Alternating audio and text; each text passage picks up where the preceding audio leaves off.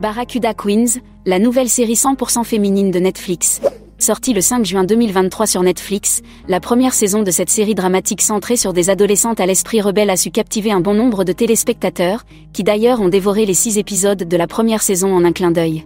Elle explore les vies tumultueuses de cinq adolescentes privilégiées, connues sous le nom de Barracuda Queens.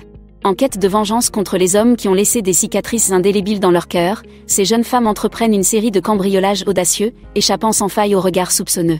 L'intrigue légère de Barracuda Queens n'est pas le seul atout de cette série.